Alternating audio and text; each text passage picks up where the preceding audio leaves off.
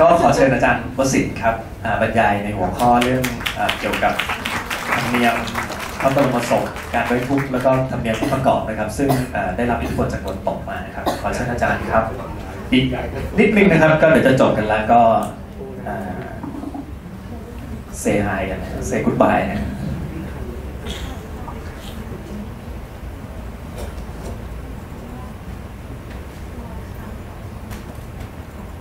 ริงวันนี้เราจะไม่ไม่เย็นมากนะฮะถ้าช่วงตอนแจกหนังสือเราไม่ชุลมุนกันขนาดนั้นนะฮะต้องขออภัยนะฮะก็พยายามทำดีที่สุดแล้วนะครับครับก็นมัสการพระคุณเจ้านะครับมาไม่ทราบยังอยู่หรือเปล่าไม่อยู่แล้วนะครับ แล้วก็สวัสดีท่านอาคณาจารย์แขกกุ้มเกียรติทุกท่านนะครับ ก็เป็นเวลาปราบเซียนนะครับ เพราะว่า ของผมเป็นช่วงสุดท้ายและช่วงที่อยู่ข้าวด้วยนะครับอดใจอีกนิดนึงนะครับ เราจะขมวดประเด็นมาก็จะโยงมาจนถึงยุคปัจจุบันนะครับสไลด์ผมทำมันย่อลงไป เห็นไหมครับสไลด์เห็นเต็มไหมครับเต็มเต็มเต็มนะครับโอเคนะครับ ก็หัวข้อหลักที่ผมเขียนไว้ในหนังสือนะครับ ก็มีทั้งหมด 5 หัวข้อใหญ่แต่ว่าก็ อาจารย์หลายท่านได้กล่าวถึงไปบ้างแล้วนะครับ ไม่ว่าจะเป็นทางฝั่งอาจารย์ธนโชตนะครับทางฝั่งอาจารย์รุ่งโรจน์นะครับ แล้วก็อาจารย์เกรียงไกรก็ได้กล่าวถึงไปบ้างแล้วนะครับ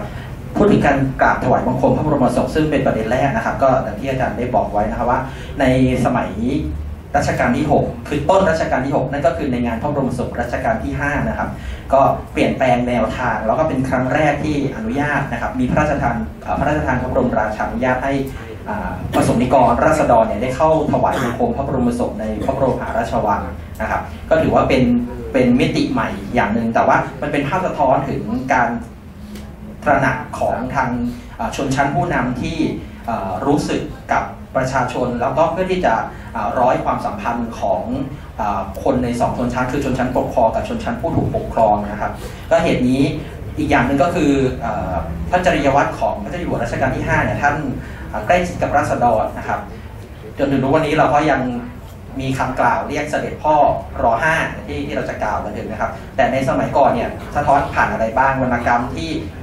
ย้อนไปแม่พลอยสี่แผ่นดิน หรืออะไรต่างๆนะก็จะพูดถึงความรู้สึกสูญเสีย ซึ่งเเมื่อ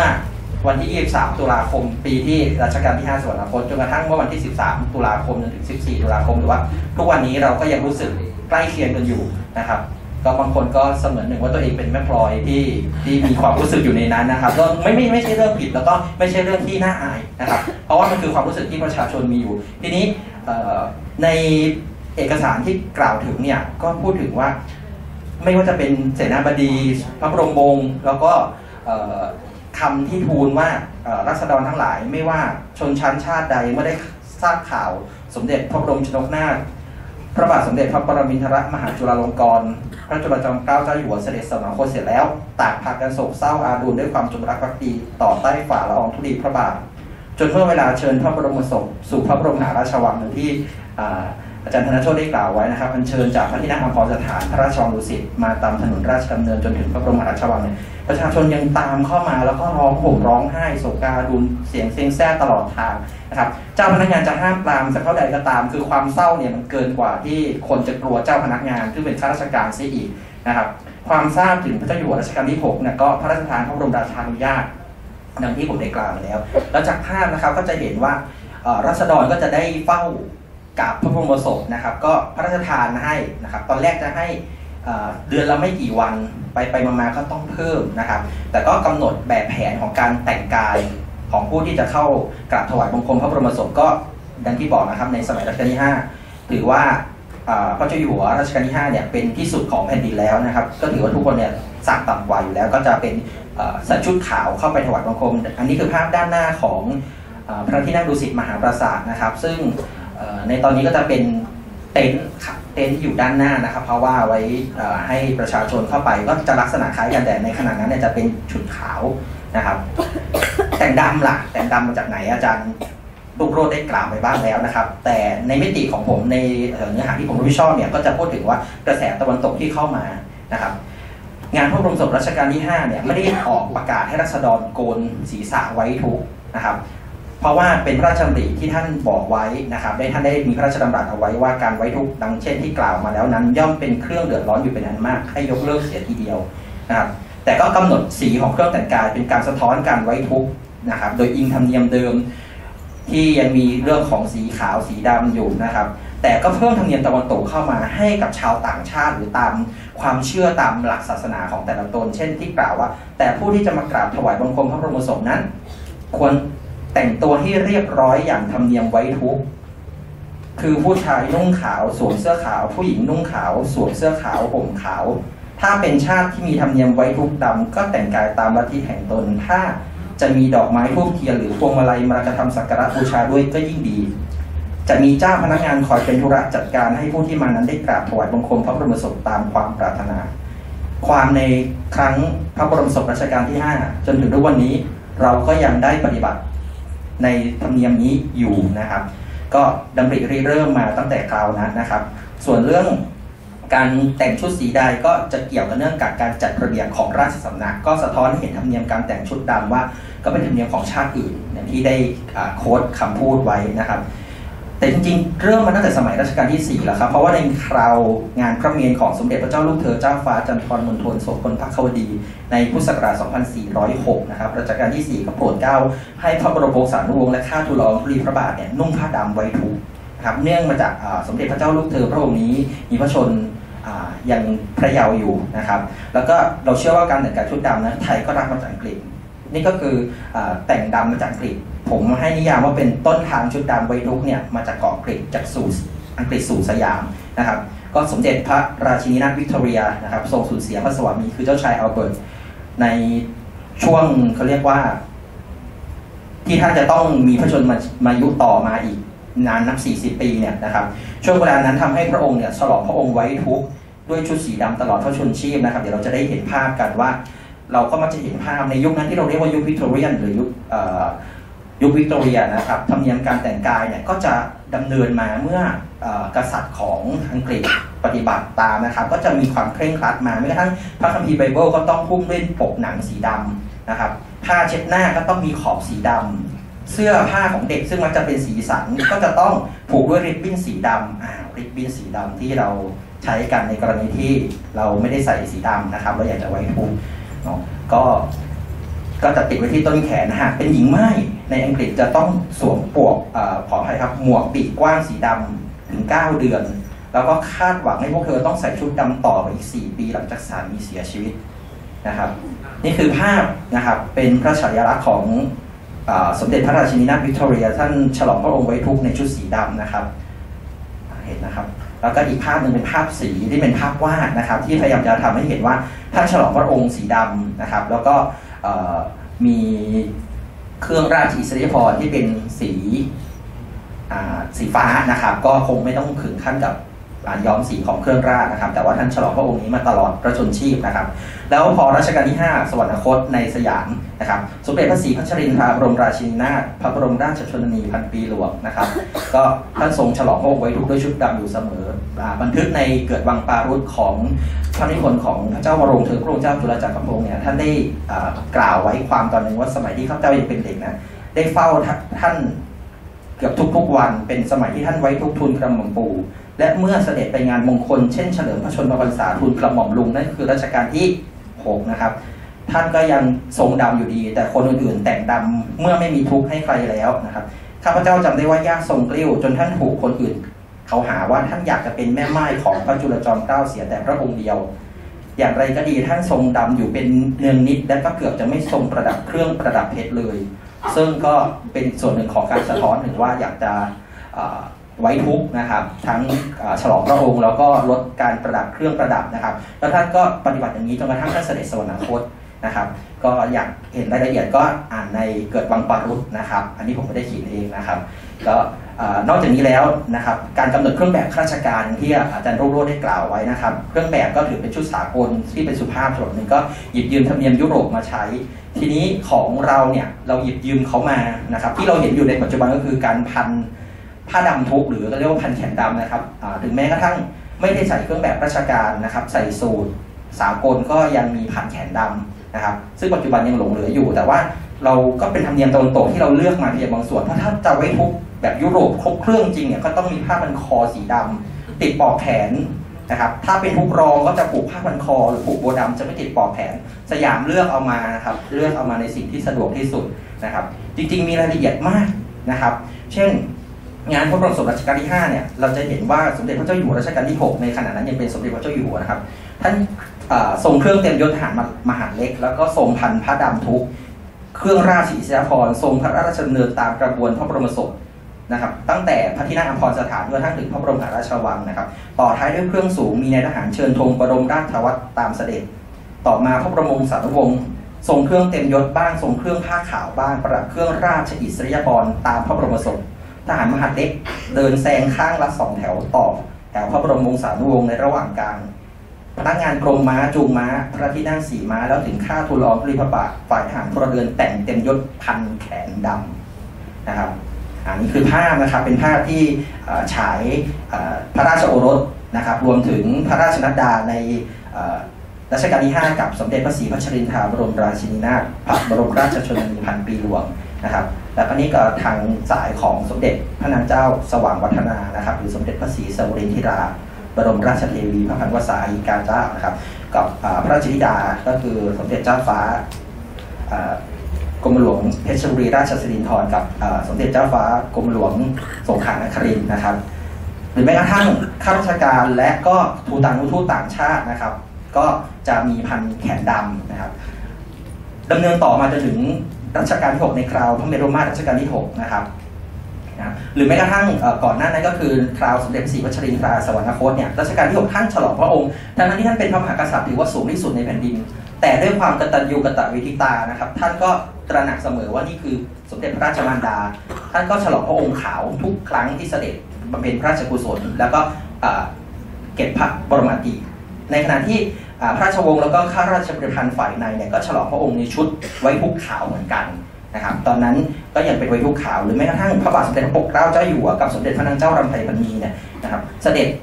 ลงจากพระเมรุมาตรหลังจากถวายพระเพลิงพระบรมศพของรัชกาลที่6ครับท่านก็ฉลองพระองค์นะครับในชุดขาวไว้ทุกเหมือนกันครับแต่งดำก็เป็นอิทธิพลมานะครับ จนกระทั่งมาเปลี่ยนในนโยบายรัฐนิยมของจอมพลปพิบูลสงครามประกาศระเบียบแต่งกายไว้ทุกในงานศพพุทธศักราช 2484 นะครับ หลักการย่อๆก็คือให้ข้าราชการแต่งเครื่องแบบตามหมายรับสั่งของสำนักพระราชวัง ให้ใช้ผ้าสีดำพันแขนเสื้อเบื้องบนนะครับพระสงฆ์นิกรก็แต่งชุดดำล้วน ก็เป็นแบบแผนที่ใช้ต่อเนื่องมานะครับ อันนี้เป็นภาพในงานพระบรมศพของสมเด็จพระนางเจ้ารำไพพรรณีพระบรมราชินีในรัชกาลที่ 7 นะครับ เราจะเห็นว่าพระเจ้าอยู่หัวรัชกาลที่9นะครับทรงประคองสมเด็จพระศรีนครินทราบรมราชชนนีกับในขณะที่สมเด็จพระนางเจ้าพระบรมราชินีนาถในรัชกาลที่ 9 ก็ฉลองพระองค์ดำไว้ทุกนะครับ ก็นี่ก็คือหลังจากยุครัฐนิยมแล้วนะครับ ในขณะที่พระเจ้าอยู่หัวรัชกาลที่ 9 แล้วก็ข้าราชการก็จะแต่งเครื่องแบบราชการแล้วก็ติดปลอกแขนดำไว้ทุกนะครับนั่นก็คือหลักๆคร่าวๆจริงๆมีรายละเอียดอีกมากมายไม่ว่าจะเป็นทำไมในวันออกพระเมน จะต้องอประดับเครื่องราชอิสริยาภรณ์ตระกูลนี้ ถวายพระเพลิงตระกูลนี้ ถวายเอ่อเกียรติพระบรมอิตระกูลนี้ ฉลองพระบรมราชอีกเครื่องราชอีกตระกูลหนึ่งนะครับ ก็เป็นเรื่องที่เป็นรายละเอียดที่อยากจะสืบค้นเหมือนกันแต่ค่อนข้างยากมากนะครับ ก็ใครมีข้อมูลก็แลกเปลี่ยนกันได้นะครับในอนาคตนั่นคือประเด็นของการแต่งกายนะครับ การยิงสรุปก็รวบรัดเลยนะครับ ในงานพระบรมศพรัชกาลที่ 5 เนี่ยบันทึกไม่ว่าจะเป็นประวัติต้นรัชกาลที่ 6 หรือแม้กระทั่งราชกิจจานุเบกษาก็ได้บันทึกไว้ว่าทหารทหารเรือแล้วก็ทหารบกเนี่ยยิงสรุปถวายตั้งแต่เริ่มส่งน้ำพระบรมศพแล้วก็อัญเชิญพระบรมศพเนี่ยจากพระที่นั่งอัมพรสถานพระราชวังดุสิตจนถึงพระที่นั่งดุสิตมหาปราสาทในพระบรมหาราชวัง นะครับธรรมเนียมการยิงสรุปมีมานานแล้วตั้งแต่สมัยรัชเอ่อย่างน้อยสมเด็จพระเจ้าประสาททองนะครับยิงสรุปใช้ในพิธีสำคัญสรุปเฉลิมฉลองสมโพธินะครับมีพระประสูติการพระราชโอรสนะฮะเหล่านี้ก็เกี่ยวเนื่องแล้วก็นำมาใช้ในงานพระบรมศพกษัตริย์สยามในสมัยที่รัชกาลที่5เสด็จสวรรคตนะครับ พูดถึงนะโดยรายละเอียดผมขออนุญาตข้ามแล้วกันนะครับ แต่จะให้เห็นภาพภาพนี้เราเห็นกันเมื่อวันที่ 14 ตุลาคม 2559 นะครับ ก็จะเป็นกองพันหันพระบรมราชินีในรัชกาลที่ 7 นะครับในพิธีรู้สึกจะเป็นวันที่ 9 เมษายน 2528 นะครับ ก็มียิงสลุดหลวงถวายนะครับในคราวถวายพระเพลิง นั่นก็คือพิธีที่เรารับมาจากฝรั่ง เพราะว่าธรรมเนียมการเดินเรือของตะวันตกเนี่ยเวลาเข้าปากแม่น้ำของประเทศใดก็จะต้องอแสดงความบริสุทธิ์ใจ แล้วก็นำมาสู่ธรรมเนียมของชาวเรือนะครับ นั่นก็คือพิธียิงสลุดที่เรารับมาจากตะวันตกนะครับ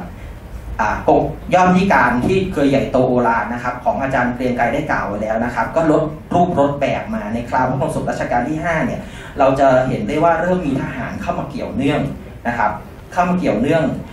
จนกระทั่งถึงในคราวพระบรมศพสมเด็จพระศรีพัชรินทราบรมราชินีนาถพระบรมราชชนนีพันปีหลวงเนี่ยนะครับ ก็จะเห็นว่ามีผู้หญิงเข้ามาร่วมด้วย ว่าท่านเป็นสภานายิการสภากาชาติไทยแล้วก็ทรงอุประถมภ์โรงเรียนราชินี ก็จะมีนักเรียนสตรีเข้ามาร่วมด้วยนะครับ เราก็จะลดรูปจากเครื่องแห่ที่เป็นรูปสัตว์กลายเป็น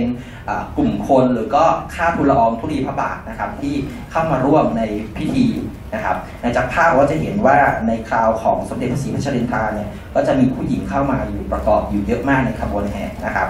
ที่การที่ย่อให้เล็กลงส่วนหนึ่งก็มาจากสังคมที่เปลี่ยนไปเราไม่ได้มีระบบไพร่ที่จะเกณฑ์มาได้ง่าย แล้วเรากลายเป็นเสรีชนนะครับ แล้วก็เป็นราษฎร ซึ่งแต่ละคนก็จะมีหน้าที่การลดภาระของรัฐส่วนหนึ่งนะครับ ก็จะใช้ทหารเข้ามาเพราะทหารถูกฝึกให้อยู่ในระเบียบแล้วก็มีพละกำลังนะครับ กระบวนแห่ก็เปลี่ยนอย่างที่บอกเปลี่ยนจากรูปสัตว์นะครับ ตั้งแต่รัชกาลที่ 5 ทหารจะเข้ามามีบทบาทสูงมากขึ้นในพระราชพิธีในพระบรมศพนะครับ จะเกี่ยวเนื่องก็ปรับเปลี่ยนไป แล้วก็เราพบว่าในสมัยรัชกาลที่ 6 เนี่ยคราวถวายพระเพลิงพระบรมศพของสมเด็จพระศรีพัชรินทราเนี่ย สมเด็จเจ้าฟ้าบริพัตรสุขุมพันธ์กรมพระนครสวรรค์วรพินิท่าน นำเพลงพระยาโศกซึ่งเป็นเพลงทำนองเก่าที่เป็นอัตราสองชั้นมาดัดแปลงนะครับ โดยใส่ทำนองโศกแบบตะวันตกเข้ามา แล้วก็เป็นจังหวะกับการเดิน ก็นำมาสู่จังหวะ slow march เนี่ยกลายเป็นเพลงพญาโศกจนรัชกาลที่6ตรัสชมว่า เป็นเพลงไว้อาลัยของชาตินะครับ ซึ่งธรรมเนียมเนี้ยก็เคยเกิดขึ้นมาแล้วในเอ่ออัญเชิญพระบรมศพของอพระราชินีนาถวิกตอเรียของสหราชอาณาจักรหรือว่าอังกฤษนะครับ ท้ายสุดก็คือเรื่องราชรถปืนใหญ่นะครับอาจารย์คุณยุทธนาวรากรได้กล่าวไปถึงบ้างเรื่องราชรถที่เป็นแบบแผนธรรมเนียมประเพณีของไทยนะครับ แต่เราก็จะพบว่าราชรถปืนใหญ่ เป็นพระเกียรติยศสำหรับผู้ที่เคยรับราชการทหารนะครับพระบรมวงศ์ผู้ใหญ่ที่รับราชการทหารเนี่ยธรรมเนียมนี้เกิดขึ้นในสมัยรัชกาลที่6เริ่มมาจากพระอนุชาธิราชสมเด็จพระอนุชาธิราชเจ้าฟ้าจักรพงศ์ภูวนาถนะครับท่านไปที่วงคตที่สิงคโปร์ แล้วอัญเชิญพระศพของท่านเนี่ยออกจากสาราว่าการของข้าหลวงสิงคโปร์โดยใช้ราชรถปืนใหญ่ รวมถึงมียิงสลุดด้วยครับมียิงสลุดด้วยนะครับที่สิงคโปร์จัดให้ตอนนั้น สิงคโปร์ยังเป็นอาณานิคมของอังกฤษนะครับเราจะพบว่าธรรมเนียมนี้ก็ถูกนำมาใช้ แล้วก็รัชกาลที่หกได้ตรัสเอาไว้เลยว่า หากท่านเสด็จสวรรคตและจะถวายพระเพลิงของท่านเนี่ยไม่ต้องใช้พระมหาวิชัยราชรถไม่ต้องใช้ขบวนเอ่อเสลียงพระราชยานคานหาม ให้ใช้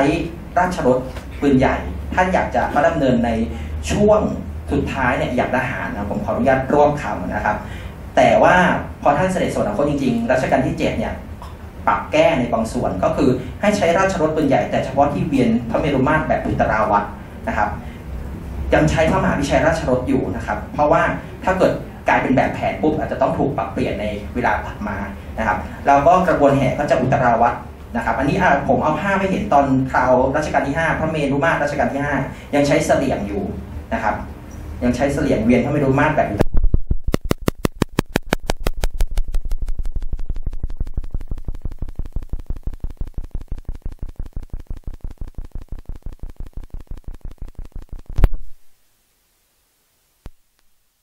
าพร่างว่าเราจะเห็นว่าขาม้าจะเห็นทั้งขาที่ยกแล้วก็เป็นขาที่ร่างนะครับ แล้วก็กลายเป็นแบบของการเอ่อนำมาใช้นะครับ เป็นราชรถทรงพระโกรธเวียนรอบพระเมรุมาตรนี่เป็นภาพเห็นชัดในคราวอัญเชิญพระบรมศพของสมเด็จอขออภัยครับรัชกาลที่ 6 นะครับ เวียนพระเมรุมาตรเหมือนกัน เราก็จะเห็นว่าใช้รถปืนใหญ่นะครับเกียรติยศเหล่านี้ก็จะถูกนำมาใช้รัชกาลที่ 8 ก็ได้ถูกนำมาใช้นะครับ แล้วก็ท้ายสุดแล้วก็สมเด็จเจ้าฟ้ากรมพยานริศราชวัติวงศ์นะครับ ก็ได้ใช้พระเพลิงเดียวกันกับรัชกาลที่ 8 แต่ว่าปรับลดตามฐานันดรศักดิ์ของท่านนะครับ ก็เป็นพระเมรุตามเสด็จแล้วก็ได้ใช้ราชรถนี้เหมือนกันในคราวเชิญพระศพออกจากวังท่าพระนะครับอันนี้เป็นภาพอัญเชิญพระโกรธพระบรมศพของพระบาทสมเด็จพระเจ้าอยู่หัวอนันทมหิดลก็จะพบภาพตรงนี้นะครับเป็นราชรถปืนใหญ่นะครับบางทีเราก็เรียกว่าราชรถปืนใหญ่รางเกวียนนะครับ นี่คือภาพร่างตอนที่ผมเขียนเรื่องนะครับ แล้วก็ทางกรมศิลป์ก็ได้เผยแพร่ภาพร่างอันนี้ออกมานะครับ ที่เป็นราชรถปืนใหญ่แต่ปัจจุบันเนี่ยเสร็จแล้วนะครับ เสร็จแล้วอยู่เตรียมที่จะใช้ในงานนะครับอันนี้เป็นภาพที่ทางตอนที่สร้างนะครับ องค์ปัจจุบันนะครับ ตอนนั้นสร้างอยู่ที่กองโรงช่างสร้างยุทธปกรณ์ของอสัมภวุฒินะครับ ที่สระบุรีกรมสัมภวุฒินะครับอขออภัยครับนครราชสีมา ก็นี่ก็โดยรวมที่เราจะเห็นธรรมเนียมตะวันตกที่ปรากฏอยู่ในพระราชพิธีพระบรมศพของกษัตริย์สยาม ซึ่งก็จะไม่ได้อยู่แค่พระบรมศพอย่างเดียวแล้วนะครับของกษัตริย์ก็จะเป็นสมเด็จพระบรมราชชนนี สมเด็จพระบรมราชินีนะครับตลอดจนพระบรมวงศ์ผู้ใหญ่ก็จะถูกนำมาปรับใช้ตามความเหมาะสมนะครับก็เราจะสะท้อนเห็นว่าชาวตะวันตกเนี่ยมีอิทธิพลต่อเราก็จริง แต่เราเป็นคนเลือกที่จะรับแล้วก็ปรับเขาไม่ได้มาบังคับให้เรา ทำตาม แต่เราเลือกที่จะปรับให้มันสอดคล้อง โดยที่ไม่ทิ้งรากเหง้าหรือว่าพื้นฐานดั้งเดิมของอารยธรรมของไทยไปนะครับ ก็โดยประมาณครับขอบคุณมากครับ ขอบคุณมากครับ ก็ฟังอาจารย์วสินทร์แล้วทำให้นึกถึงคำว่าไทยแท้คืออะไรนะครับ ก็โดยสรุปประเด็นของอาจารย์วสินทร์นะครับผมขอเพิ่มเติมนิดนึงก็คือว่า ธรรมเนียมการไว้ทุกข์และก็อะไรหลายๆอย่างของสยามหรือไทยเนี่ยเราสังเกตได้ว่ามาจากอังกฤษนะครับเป็นเป็นแหล่งแหล่งหลักเลยทั้งนี้เป็นเพราะว่าอังกฤษในเวลานั้นเนี่ยคือหนึ่งในศูนย์กลางความเจริญของโลกตะวันตกนะครับแล้วก็สยามเนี่ยค่อนข้างจะโอเคกับทางอังกฤษ เพราะว่าท่าทีเนี่ยเมื่อเทียบกับฝรั่งเศสเราไม่ก้าวร้าวเท่านะครับแล้วก็อีกทั้งเนี่ยยังมีการค้าในระบอบอาณานิคมด้วยกันด้วยนะครับอันนี้ผมขอสรุปประเด็นประมาณสัก 5 นาทีเท่านั้นนะครับ ก็คือว่าจากการฟังเสวนาในวันนี้ทั้งหมดเนี่ยนะครับ ก็คือว่าถ้าสรุปประเด็นต่างๆ ที่บรรยายมาโดยวิทยากรท่านต่างๆนะครับ แล้วก็รวมถึงเซสชันสุดท้ายด้วยเนี่ยนะครับเจะเห็นว่ามีจุดร่วมกันอยู่ 2 ประการหลักนะครับ ก็คือว่า 1. ศิลปะและก็ประเพณีความตายของคนในแถบนี้ เปลี่ยนแปลงอยู่ 2 ระลอกหลักๆนะครับระลอกแรกนะครับก็คือเมื่อรับวัฒนธรรมศาสนาพุทธศาสนาพราหมณ์นะครับ มาจากอินเดีย นะครับเอ่อก็ทำให้เกิดคติความเชื่อเรื่องคำสเปนอย่างนี้เป็นต้นนะครับสองนะครับเอ่อเมื่อรับอิทธิพลจากตะวันตกเข้ามานะครับเอ่อการเปลี่ยนแปลงที่เกิดขึ้นเนี่ยก็คือว่าเอ่อเอ่อประเพณีอะไรหลายๆอย่างเนี่ยเอ่อถูกพัฒนาขึ้นเพื่อจะบอกบอกว่าสยามเนี่ยทัดเทียมและมีความเอ่อไม่แตกต่างจากโลกตะวันตกอะไรเงี้ยนะครับ ทั้งนี้ก็เป็นเพราะว่าในช่วงเวลานั้นเนี่ยประมาณรัชกาลที่ 4 รัชกาลที่ 5 เนี่ยแกนโลกครับแกนโลกของความเจริญเนี่ยได้เปลี่ยนจากอินเดียมาสู่ตะวันตกนะครับ เพราะฉะนั้นเราจะเห็นได้ว่าทั้งทั้งหมดทั้งมวลเนี่ยมันมีเรื่องของอพลวัตของความเปลี่ยนแปลงที่พยายาม คือประเพณีทุกอย่างมันมีการเปลี่ยนแปลงนะครับแล้วก็อีกประเด็นหนึ่งนะครับก็คือว่าศิลปะประเพณีความตายทั้งพระบรมศพและพระเมรุสะท้อนให้เราเห็นถึงเรื่องชนชั้น อำนาจของสถาบันกษัตริย์ ระบอบการปกครอง และความสัมพันธ์ระหว่างชนชั้นนำกับประชาชนนะครับดังนั้นทั้งงานพระบรมศพและพระเมรุคือภาพสะท้อนทางประวัติศาสตร์นะครับของไทยหรือสยามที่มีมาอย่างยาวนานนะครับ เพราะฉะนั้นเวลาที่เรารับต่อไปเนี้นะครับหลังจากเนี้ยรับชมงานพระบรมศพก็ดี งานพระเมรุก็ดีเนี่ยอยากให้ลองใช้สายตาที่พิเคราะห์ละเอียดมากขึ้นอย่างเงี้ยนะครับ แล้วเราจะเห็นว่า รากเง้าทางประวัติศาสตร์ที่ผ่านมาเนี่ยเป็นอย่างไรนะครับสุดท้ายนี้นะครับ ผมขอขอจบงานเลยแล้วกันนะครับครับผมเพราะว่าเริ่มเย็นแล้วผมก็หิวเหมือนกันนะครับ ผมยอมรับเลยนะผมยังไม่กินข้าวเช้าเลยสุดท้ายนี้นะครับ ขอขอบพระคุณประธานในพิธีนะครับ คือดรเฉลิมชัยพันเลิศนะครับรบกวนตบมือให้ท่านนิดหนึงครับที่เราได้หนังสื อกันทุกท่านก็ก็ท่านนี้นะครับเอ่อวิทยากรทุกท่านนะครับทั้งอาจารย์อภิรักษ์อาจารย์วสินทร์อาจารย์ลุงโรจน์นะครับ อาจารย์ธนโชตแล้วก็อีกหลายท่านที่เอ่อเป็นวิทยากรไปแล้วนะครับแล้วก็อาสาสมัครช่วยงานนะครับ ทั้งที่ซักซ้อมกันไว้ ทั้งที่มาช่วยหน้างานโดยกระทันหันอย่างเงี้ยนะครับ ก็ขอขอบพระคุณอันนี้ก็ตบมือให้ด้วยนะครับ